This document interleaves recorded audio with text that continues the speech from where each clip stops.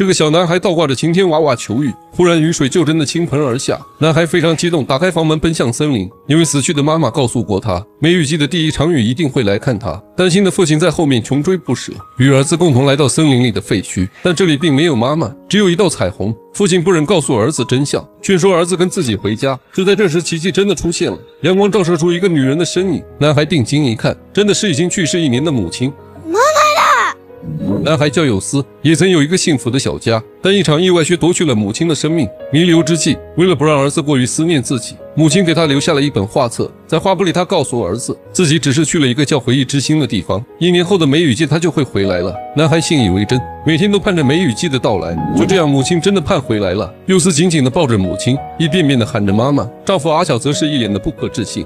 優香優なのかえそ うなの自分の名前覚えてないの私の名前虽然不知道妻子为什么会复活，但看样子他现在应该是失忆了。他将妻子带回家中，失去记忆的林显得有些拘谨。 看着叫自己妈妈的男孩，有些不知所措。这里的环境让他感到既熟悉又陌生。幼斯搞不懂母亲为什么会变成这样，但为了避免引起骚乱，父子二人决定向所有人隐瞒妈妈复活的事。林换上了曾经的衣服，还是不太相信自己曾生活在这里。为了让他拾起失去的记忆，父子二人给他讲着过去的事。他们翻开一张张照片，都是一家三口幸福的回忆。从与丈夫的相识相知到儿子的每一次生日，林也渐渐相信了眼前的父子就是自己的亲人。パーティーやらない パーティーママが大変なことになってるのに、パーティーってのは。阿晓告诉妻子，其实今天是儿子七岁的生日，但眼前最重要的是先帮他恢复记忆，所以就先不庆祝了。うん取りやめることなんかないですよ。やりませんか誕生日のパーティー。看着儿子期盼的眼神，阿晓这才同意给儿子庆生。这个冷静的小家也再次充满了温暖。林带着儿子打算去买一个蛋糕，却意外撞见一只被人遗弃的小狗。 善良的幼斯很心疼地冲了上去，他知道失去家人的滋味，抱着小狗竟然哭了起来。泣かなくてもいいよ。分かった。今日はお母さんしてあげる。幼斯靠在母亲的怀里，这久违的温暖让他非常珍惜。他们来到蛋糕店，林不知道儿子喜欢什么口味，但作为母亲，她又不好意思询问。ゆうじくんでいいですかはい。 他选了一个草莓蛋糕，但粗心的店家却写错了名字。晚上回到家，林很自然地坐到饭桌中间的位置，这让丈夫感到非常欣慰。君はいつもそこに座ってた。手が届くようにちょっとだけユージの方に椅子を置いて。君はミオなんだよ。ママはちゃんと覚えてた幼斯很开心， 拽着妈妈唱起了他们曾一起唱过的歌谣，但林却不知道儿子唱的是什么，只好傻傻地站在那里，这让幼斯有些失落。他觉得妈妈还是把自己忘了。为了缓解这个尴尬的气氛，林提议共同切生日蛋糕，但打开盒子的那一刻，丈夫却愣住了。どうかしました。ごめん。 僕が何にも言ってなかったから。ユージ、イチゴダメなんだ。丈夫一边解释着孩子对草莓过敏，一边将草莓从蛋糕上拿了下来。林在一旁拼命的道歉，她真的不记得这些了。丈夫把蛋糕端了回来，但看到上面写错的名字，幼斯再也忍不住了。ママのわかなんてこと言うんだ、ユージ。るだってママなら僕のこと何だってわかってるはずだユージ。 儿子的爆发让林感到深深的自责，幼斯则把自己锁在库房里。母亲的种种的表现让他感到很伤心。他对门外的父亲大喊着：“妈妈怎么会忘记教自己的歌谣？妈妈又怎会忘记自己不吃草莓？就连名字他都会写错。这些只能说明这个女人并不是自己的妈妈，她只是长得像罢了。”听着儿子的哭喊，林也开始怀疑自己的身份。回到房间，看着曾经的照片，陷入了沉思。幼斯冷静下来后，觉得自己说了很多过分的话。父亲本打算带着儿子去找妻子道歉，没想到雨停了下来以后，林再次消失了。点赞关注看下集。一场大雨让这个女人奇迹般复活了，但雨过天晴之后却又突然消失。父子二人赶忙焦急地外出寻找，但哪里都没有她的身影。他们又来到了那个废墟，儿子有些急了，不停地大喊着。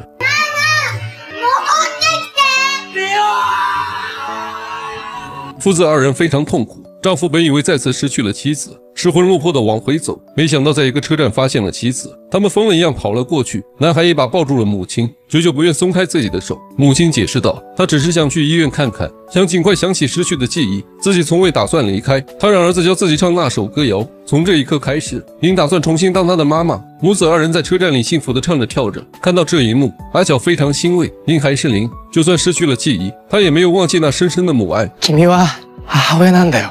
母親の代わりなんかじゃない。君は、ユージのたった一人の母親なんだよ。您不知道为什么哭了。他们回到家，阿晓打开妻子生前留给儿子的画册，那上面竟赫然写着：梅雨季结束，您就会离开这个世界，回到回忆之心。这意味着妻子很有可能会再次消失。他不敢告诉母子真相，看着那个晴天娃娃，久久不能入眠。第二天，林像从前一样操持起了家务。看到这熟悉的一幕，父子二人非常开心。林很努力的想融入这个小家，为他们做了早餐。幸运的是，即便林忘了自己是谁，但是妈妈的味道依旧没有变。阿晓打算送儿子去上学，临别前，林本能的抱着儿子跟他说再见。行ってきます。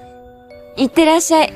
又次来到学校，老师通知大家明天要开家长会，希望大家能写一篇关于家庭的作文，在家长的面前读出来。林在家洗着衣服， 发现儿子的书包带有块污渍，怎么也洗不掉。他很贴心的为儿子缝了一个小熊上去。又次回到家，看到这个袋子，想说什么，但欲言又止。他找到父亲，通知他明天参加自己的家长会，但因为工作的原因，阿晓没有时间。儿子又提议让妈妈去，但却被阿晓拒绝了。ダメ。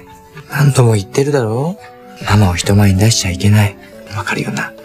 佑司只好答应了父亲。第二天，独自一人去上学。 出门前，林无意中发现儿子并没有用自己新做的那个小熊书包带，这让他感到有些奇怪。来到学校，别人家的孩子都有家长陪伴，在爸爸妈妈的面前读着那篇关于家庭的作文，只有有司自己落寞的坐在那里，心里很不是滋味。明明妈妈就在自己的身边，但又不能把她带到大家的面前。另一边，林本想准备晚饭，但打开冰箱才发现已经没有食材了。他想出去再买一些，竟然误打误撞来到了儿子的学校，看到儿子孤独的坐在那里，心里五味杂陈。阿晓回到家，林还是忍不住问了出来。いくら記憶がなくたって、ユージ君の参観日に行くことぐらい、ユージ君の体操着入れのことも、新しい方のを持ってくれないのか、私わからなくて。就在这时，佑司也放学回来了。为了帮助妻子重拾记忆，阿晓带着他来到他们曾经就读的学校。他告诉林，他们是同班同学，林很喜欢画画，经常绘画的很入迷。就这样，二人在操场上撞到了一起，也是从这一刻开始才互生情愫。私、あなたとは違う人が好きだったんですかさあ、 話にはまだまだ続きがあってね。いずれゆっくり話していくよ。行こっか。はい。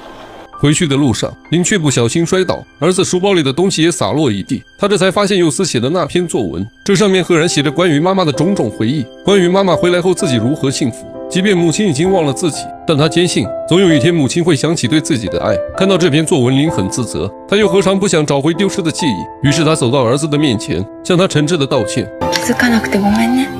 私、ユージ君が大好きだよ。他们紧紧地抱在了一起。看到这一幕，阿晓的心里似乎有些难过。只有他知道，梅雨季只有六周的时间，六周一过，妻子很有可能会再次消失。体操着入れのことなんだけど、これ、君が入院してる時に、看護師さんの目を盗んで、病院のベッドの上で作ったものなんだ。ユージも、そのことがあったから、 だから古い方を使ってて。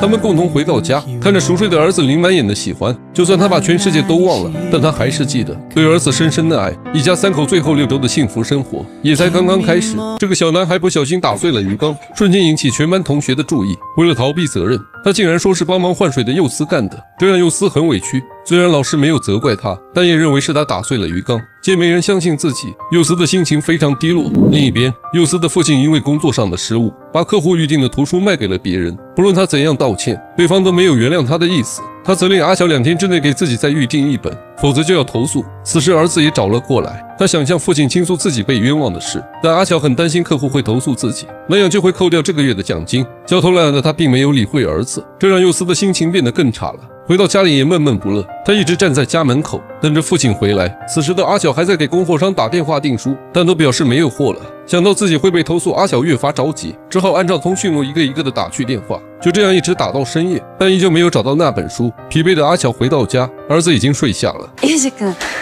ついさっきまで起きて待ってたんですよ。ああ、そう。なんだか辛そうですけど大丈夫ですか大丈夫だよ。 父亲就是这样，为了赚钱养家，从来不会向妻子抱怨，有任何委屈都选择自己去扛。第二天一早，儿子醒了，还是没有看到爸爸。阿晓很早就出去上班了。昨日からパパに何か用なんでもない。佑司来到学校找到博士，让他承认是他打碎的鱼缸，但博士却拒不承认。佑司急了，一把就将博士推倒在地。李水整整溅了他的一身。ないん 得知消息的父亲急匆匆的赶来，对方家长已经在这里等很久了。巧合的是，博士的父亲正是阿巧得罪的那位客户，对方有钱有势，阿巧只好拼命的向他道歉。それで、ひろし君が言うには、自分が水槽を割ったことにしろと突き飛ばされてしまったと。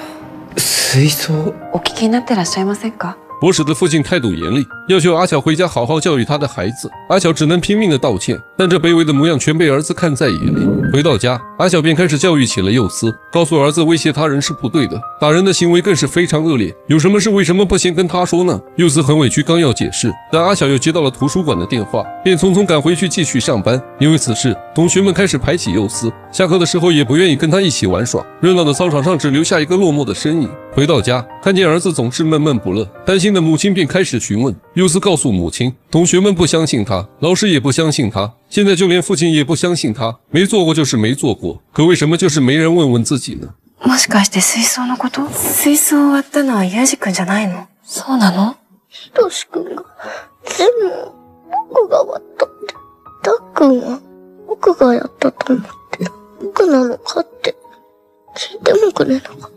听见儿子说出的真相，阿巧非常心疼。儿子没错，错的是自己。作为父亲，必须为他讨回公道。他当即骑着自行车冲了出去，约见博士的父亲开始与他对峙。水槽を割ったのは、うちの子じゃありません。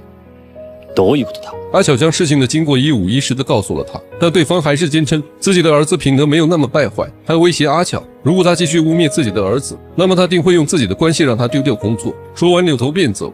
ユージじゃありません。あの子は、 嘘をつくような子じゃないんです。僕にはもったいないくらいのいい子なんです。あの子がやってないと言うなら、世界中の誰が疑っても、僕は、ユージを信じます。信じてるんです。今天父亲说的话，儿子非常感动。他告诉父亲，只要父亲相信自己就够了。他想要的也仅仅是父亲的认可。父亲一把抱住了他，虽然自己没出息，在外人的面前总是那么卑微，但在儿子的心里，他一直都是一名英雄。只要有父亲的肩膀，只要父亲肯倾听自己的委屈，那么一切的一切似乎就不再那么重要了。您看在眼里，虽然自己失忆了，但现在的他似乎也开始明白为什么会爱上眼前的这个男人了。第二天，博士在全班的面前承认了是自己打碎的鱼缸。お父さんに何もかも話したそうです。ごめんね。 うん、いいよ。阿巧也遇到了博士的父亲，对方也向他道了歉。那本书他自己也买到了，也不再会去投诉他。所谓父亲，其实就是在孩子的面前去做对的事，在孩子迷茫的时刻给予最大的心理支持。能做到这些就已足够了吧？您告诉丈夫，从今天开始，他打算重新爱上她，即便有的时候还是会感到陌生。但既然他能做好一名合格的父亲，那么也一定能做好一位合格的丈夫。新的挑战也终于开始了。 这个小男孩故意跳进泥坑里，还把衣服弄得很脏，开心的回家等待着母亲骂自己。没想到母亲并没有批评他，还耐心的为他换了衣服，这让男孩很失落。拿起书包就要回到自己的房间，但却不小心打坏了母亲的四叶草。ユージ君、これ見覚えない知らない。 儿子躲到了壁橱里，开始回忆起曾经的母亲。那时候的妈妈经常会骂自己，做错事也会批评自己。但现在母亲失忆了，完全记不起他们过去的一点一滴，所以他才会故意弄脏衣服，好让母亲想起过去的自己。傍晚，阿巧回到家，妻子告诉他，自己白天的时候无意间发现了一个信封，在里面发现了这个四叶草，但却被儿子摔坏了。他现在很想知道这个四叶草的由来。このクローバーは僕に幸運を運んできてくれたんだ。幸運 阿巧告诉妻子，这个四叶草是学生时代他送给自己的。那天自己去参加一场田径比赛，心里想着这个四叶草，果然拿到一个很棒的名次。从那天开始，他们的关系也越来越近，所以这个四叶草也可以算是他们的定情信物。门外的儿子听到了他们的谈话，心里非常不是滋味。第二天就把那个四叶草拿到了医生那里，希望对方能将其修复好。但没想到的是，对方越修越糟，四叶草变成了双叶草。男孩决定自己想想办法，但此时却下起了倾盆大雨。已经到了放学的时间，您在家等了很久，儿子也没有回来。随着雨下的越来越大，她不由得开始担心起来，于是第一时间给丈夫打去了电话。ユージ君学校からまだ、もうとっくに帰ってる時間なのに。わかった。すぐそっちに帰る。此时的天气已经狂风暴作，倾盆大雨已经让幼斯的视线模糊不清。他想往家走，但暴涨的河水已经把桥面冲垮。 在家的母亲越发担心，便决定顶着大雨外出寻找。她来到一个河边，竟然发现了儿子的书包，这可把她吓坏了，焦急地在河边查看着。终于在桥墩处发现了儿子的身影，母亲没有犹豫，直接冲进了冰冷的河水里，向儿子的方向游去，拼了全力抱住了儿子，艰难地向岸边靠近。这一刻，母亲再也忍不住了。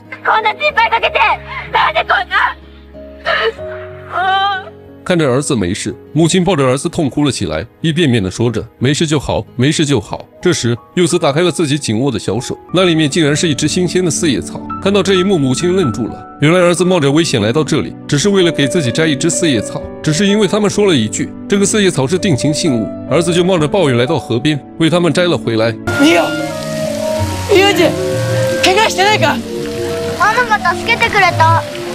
ユージが 夫妻二人相视一笑，此时的一家三口是幸福的。晚上回到家，佑司累得早早就睡下了。阿晓则告诉妻子，他希望妻子能变回原来的自己。以前的他虽然有些可怕，经常会因为负责惹事训斥他们，但在佑司的眼里，那个暴脾气的妈妈才是自己的母亲。林也想努力的找回记忆，找回那个曾经的自己。私匠さんのこともユージのことももっと知りたいんです二人のことを自分のことのように感じられたらいいなってそう思うんです 第二天，阿晓打算送儿子上学。临行前，林叫住了佑司，给了他一个温暖的拥抱。他正在慢慢变回曾经的自己，看着那只四叶草，那些逝去的记忆也在一点点进入他的脑海。深夜，男人还在努力工作，他已经好几天没休息了，大口大口地喘着粗气，视线也开始模糊不清。突然，浑身开始抽搐，摔倒在地，还好被同事及时发现，当即叫来医生帮忙救治，这才转危为安。フルタイムで働いて残業までしてたなんて聞かされた私の身にもなって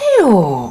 原来图书馆因为经营不善要开始裁员，作为合同工的阿晓就是其中之一，这让他感到很恐惧。家里还有老婆孩子要养，便向馆长申请全日制工作。しかし、君は体の方が、僕には守らなくちゃいけない家族がいるんです馆长同意了他的请求，但这也意味着阿强每天要工作十四个小时。从这天开始，阿强每天都会回来的很晚，因为劳累几乎也没有时间与妻子交流。妻子还不知道原因，只是感到丈夫很奇怪。阿强每天都要努力工作， 回家的时间也越来越晚，甚至靠在门框上也会睡着。ユージパパは自分のペースで動けないと辛いんだよねうん。今までにもこんなことあった高强度的工作让阿晓的身体有些吃不消了，但为了赚钱养家，一直拼命的坚持着。终于在那个夜晚支持不住，倒在地上。她在图书馆躺了好久才缓过来。 不放心的女同事打算送阿晓回家。另一边，因为丈夫迟迟未归，妻子按耐不住焦急的心情，决心去图书馆寻找丈夫。此时天空正巧下起了雨，好心的女同事赶忙为阿晓撑起了雨伞，但这一幕正好被赶来的妻子撞见了，这让她的心里很难受。她虽然失忆了不假，但这段时间的相处也让她对丈夫产生了感情。从那天开始，妻子每天都闷闷不乐，见了丈夫也不愿理睬。ママはなんだか変だったね。ママはたっくんの病気のことを気にしてたよ。すごい心配してた。为了不让妻子担心自己，阿晓决定好好与妻子谈一谈。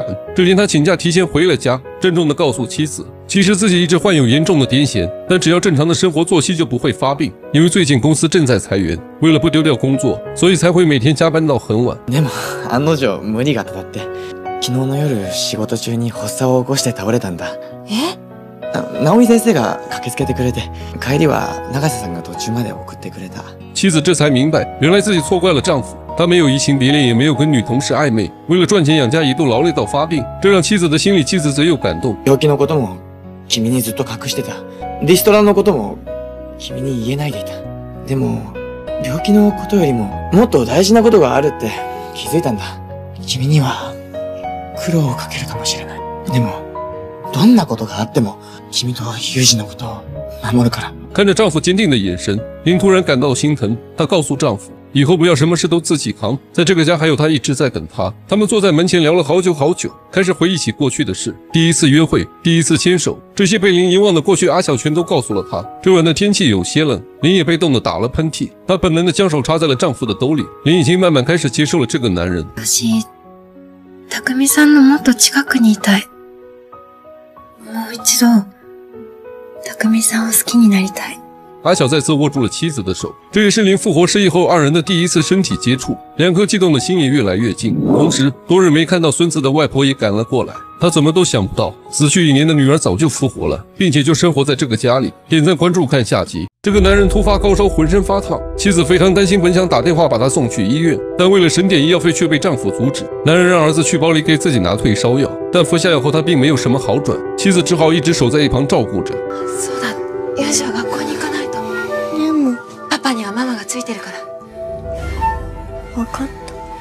另一 边，因为阿晓生病迟迟没来上班，担心的同事万里子便打去电话，但却一直无人接听。他只好决定去阿晓的家里看看。但打开门的那一刻，万里子彻底愣住了。林明明一年前就已经去世了，他还去参加了葬礼。万里子既是阿晓的同事，同时也是林的初中同学。死去的人也能复活吗？万里子显得有些害怕，赶紧匆匆离开了这里。 回去的路上，他一遍遍地告诉自己，刚才的那个女人只是长得像林而已，一定是自己看错了。それより今誰か来てた。あ、マリコさんが。え？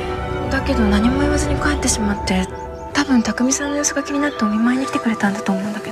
此话一出，阿晓显得有些着急。如果让万里子知道林已经复活了，这势必会引起人们的骚乱。他赶紧给图书馆打去电话，但同事却告诉他万里子并没有回来，这让阿晓更加担心了。经过妻子一天的细心照顾，阿晓的身体逐渐恢复了过来。深夜，他再次给图书馆打去电话，但依旧没有找到万里子。趁林睡着，儿子告诉父亲，白天给他拿药的时候看到了那本画册。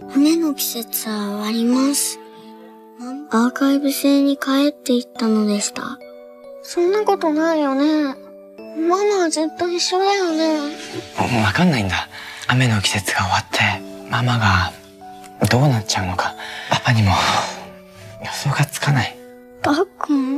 第二天，为了不让妻子发现那本画册，阿晓早早起了床，将画册藏到了库房里。之后便早早的去上班了。他很担心万里子知道妻子已经复活的事，但等他来到图书馆，却发现万里子今天也没有来上班。另一边，为了不让梅雨季结束，又是倒挂了一排的晴天娃娃。どうしてうちのテルテルボーイズはみんな逆さまなの？内緒。どうして教えてくれてもいいでしょ？じゃあママも。え、ママも？うん。なんだかよくわからないけど。 一个大搞破裂送的几个死了呢。此时的万里子为了解除心中的疑惑，再次来到了阿巧的家确认林的身份。正好看见送儿子上学的林出来，看到他们亲密的模样，万里子确认此人就是已经去世一年的林，这让他非常紧张，一直躲在一旁偷偷的看着，但也被外出的林发现了。二人面面相觑，一时不知道该说什么好。会いましたか？今日はすごく早くに家を出たみたいで、多分マリコさんに何か用事があったからだと思うんですけど。さあ。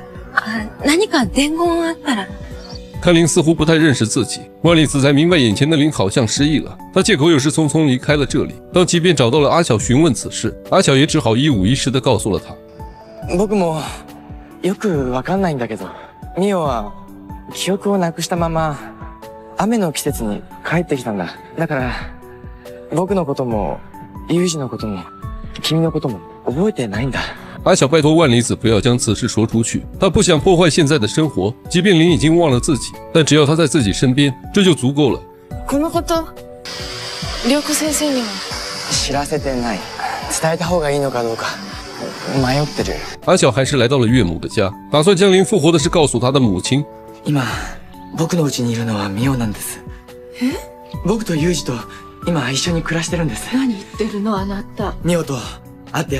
没想到的是，林的母亲非但不相信，竟然还打了阿巧一巴掌。眼前的岳母突然给了女婿一巴掌，他劝女婿清醒一点，他的女儿已经死了，不会回来了，为什么还要过来欺骗自己？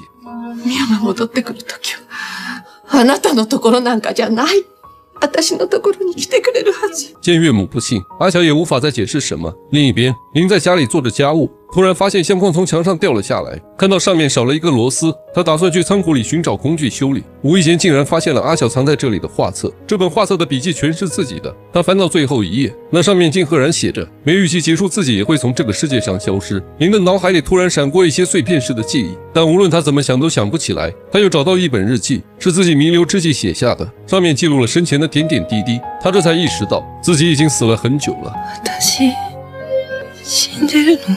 这让林近乎感到崩溃。她好不容易才再次爱上丈夫，好不容易才得到儿子认可，她很舍不得这个家，一个人落寞地坐在房间里发呆。但电视里却开始播报天气预报，下个星期梅雨季就要结束了，这让她感到很害怕，匆匆把电视关掉了。她想了好久好久，突然决定一定要在消失前做点什么。于是林开始给儿子整理衣物。还将每件物品贴上了标签，担心自己消失后父子找不到这些用品。他还开始教儿子做起家务，教他如何做饭，仅仅也只是希望自己消失后儿子能够独立。他还告诉丈夫，自己打算举办一个派对。今日ね、ユージに聞いたの。一年で楽しい時いつって。そしたら一番が誕生日で二番目がクリスマスなんだって。だから。だけど今は夏だよ。いいじゃない。楽しいことは何回やったって。 丈夫感到有些奇怪，他开始怀疑妻子已经知道事情的真相了。第二天，林便前往蛋糕店，给儿子预定了一个巧克力蛋糕。他告诉老板，自己打算预定十三个蛋糕，一直到儿子二十岁的时候，希望店家每年儿子的生日的时候给他送去。あと、このカードを毎年添えてもらえますか了解。ありがとうございます。难吗？ 这晚，一家三口在这个夏天庆祝起了圣诞节。林做了满满一桌子的菜，欢快地庆祝着这个节日，大家都非常开心。但父子俩根本就不知道，林所做的一切都是为了跟他们告别，在自己消失以前留下最美好的回忆。他们还照了一张合影。如果时间能够永远定格在这一刻，那该有多好啊！派对结束，阿晓开始收拾各种道具。他来到仓库，又翻开那本画册，忽然发现画册有人动过，之后莫名的哭了起来。他明白妻子已经什么都知道了，妻子也赶了过来，看到这一幕心疼不已。ごめんね、たくみさん。何がもう、一人で苦しまなくてもいいから。私、絵本を見たの。这一个天空突然下起了大雨， 看着熟睡的儿子，林的眼里充满了不舍。阿小一把抱住了他，一遍遍的说着不要离开自己。既然有第一次的奇迹，那么就一定会有第二次。林最后的心愿是让阿小为自己戴上钻戒，就像六年前结婚那天一样，二人互戴了戒指，紧紧的抱在了一起。第二天，林像什么都没发生过一样，在家门口送儿子上学，回到房间，愣愣的站在那里。这时雨停了下来，阳光也透过云层照耀着大地。梅雨季结束了，炽热的夏天即将来临。林是真的会消失，还是可以等来奇迹呢？点赞关注看下集。这个小男孩望着晴天娃娃，突然预感到了什么，便向老师请了假，急匆匆地奔向家里。阿晓也感到不对劲，拼了命地向家的方向前进。雨过天晴，梅雨季结束了，林再次来到了那个废墟。ママ、言ってんだ。僕も行く。もうわがまま言わないから、いい子になるから。いい子になんかならなくていいの。ユージは、ユージのままでいいんだよ。 林告诉儿子，能与他遇见是自己最幸福的事。他有一天也会长大，也会慢慢变老，离开这个世界。那个时候就会前往回忆之星，林会一直在那里等待儿子的到来。这是自己与他最后的约定。此时，阿晓也匆匆地赶了过来。他们坐在台阶上，做着最后的道别。たくみさんと永遠を約束するために、この6週間があったんだと思う。でも、たくみさん、このままにいてて。もっと強く。 生きてるよ。私、生まれ変わっても、きっと何度でも、たくみさんと一緒になるから。さようなら。此时，一道大门突然开启，散发出耀眼的光芒。林还是消失了，离开了这个世界，只留下了那个钻戒。阿晓痛哭不止，静默无言。 生活还要继续。从今天起，再也没有母亲宋佑思上学，父子二人互相鼓励，互相支持，谁也没有再提及关于母亲的事，就好像他从未回来过。林的母亲也来到了阿巧的家，但是依旧没有见到自己思念许久的女儿。她向阿巧道了歉，母亲明白阿巧一定是怕自己太伤心，所以才编造了林复活的谎言。阿巧没再解释，只希望岳母能够好好生活。岳母走后，阿巧无意间发现了林曾经写下的日记，但看到内容的那一刻，她彻底愣住了。这本日记是林从十九岁起开始记录的，从他们的相识相知一直到相恋，上面都有详细的记载。学生时代，林就对阿巧萌生了好感。幸运的是，二人最终走到了一起。但有一则记载，阿晓并不知道，原来在他们确定关系的前一天，林曾出了一场车祸，直接入院昏迷不醒。私は既得状態になりました。気がついた時、私は全ての記憶を失って森にいました。私は自分の日記を見つけました。 交通事故に遭った19歳の私は8年後の未来に飛んでいたことを知りました。阿晓恍然大悟，原来林并不是复活，是发生车祸后来到了八年后，跟他们相处六周的，一直都是八年前的林。全ての事情を知った時、私はあなたに二度目の恋をしていました。あなたには二度目のことでも、私にとっては初めてのことで嬉しかった。あなたを愛して、あなたに愛された6週間は、雨の季節は終わり、私はあの8年後の世界に彼を告げました。另一边，八年前的林在医院突然苏醒，他带着八年后的记忆，决定再次找到阿巧。他要再经历一次，经历一次与阿巧的爱情，经历一次他们婚后幸福的时光。私は何度生まれ変わっても、必ず同じ道を選びます。私の幸せは、あなたと生きること。だから、あなたに、今、会いに行きます。林再次遇到了年轻时的阿巧，他的脸上写满了回忆。这段幸福又痛苦的时光，他还要经历一次又一次，但林永远都不会后悔。会いたかった。 至此，全剧中虽然此剧充满了神秘色彩，但是希望大家明白，有一位科学家计算过，十二亿九千六百万年后，所有事物会重演一遍。也就是说，所爱之人还会遇见， 错过的时间也都会重来。我只希望那一刻，大家能够珍惜眼前的彼此，紧紧的抱在一起，说一句“现在很想见你”。点赞关注看下部剧。